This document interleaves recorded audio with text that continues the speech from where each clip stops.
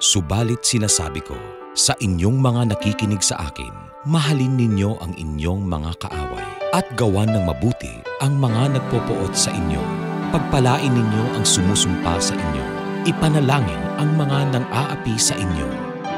Ikaw, nag-MX3 ka na ba? Mag-MX3 na araw-araw para MX Extraordinary.